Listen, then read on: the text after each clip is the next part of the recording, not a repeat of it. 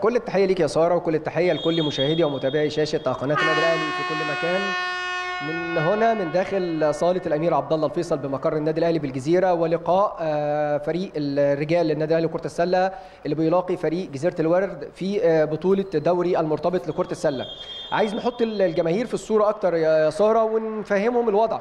البطولة عبارة عن إن كان في دورتين مجمعتين أقيموا الدورة المجمعة الأولى كانت أقيمت في النادي الأهلي وانتهت بتصدر النادي الأهلي لمجموعته والفوز بكل اللقاءات. الدورة المجمعة الثانية كانت أقيمت في طنطا وانتهت أيضا بفوز النادي الأهلي في كل في كافة لقاءاته وتصدره للمجموعة.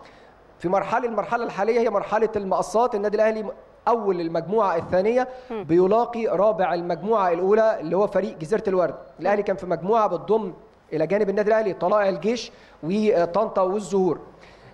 دخلنا خلاص في مرحلة هي ترتيب المراكز ومرحلة الدور ال 16 كان في قبل هذا اللقاء مباراة بتجمع ما بين فريق المرتبط في النادي الأهلي وفريق جزيرة الورد وانتهت بفوز فريق النادي الأهلي 71 14 هيقام لقاء ثاني يعني على ملعب فريق جزيرة الورد يوم 22 10 هيلاقي فريق المرتبط بالنادي الأهلي أيضا فريق جزيرة الورد المرتبط وأيضا فريق النادي الأهلي الرجال هيلاقي فريق جزيرة الورد الرجال على ملعب جزيرة الورد.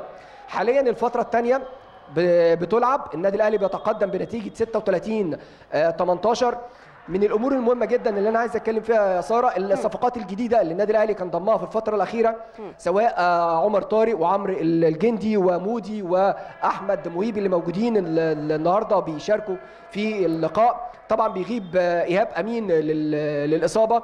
عودة عمر طارق بعد كان حصوله على أجازة للزواج بنقول له مبروك وواحد من من اللعيبة اللي ضمها النادي الأهلي. النادي الأهلي يعني في الفترة الثانية زي ما قلت لك بيتقدم. ب 36 18 برضه يا سارة عشان نقرب الجماهير ونقول إن عقب انتهاء هذا الدور اللي هيتم توقف حتى منتصف شهر 12 من أجل مشاركة المنتخب المصري لكرة السلة في تصفيات أمم إفريقيا. شكرا جدا فاروق صلاح. يعني شكرا جدا على كل المعلومات دي. طبعا بنتمنى التوفيق للنادي الأهلي.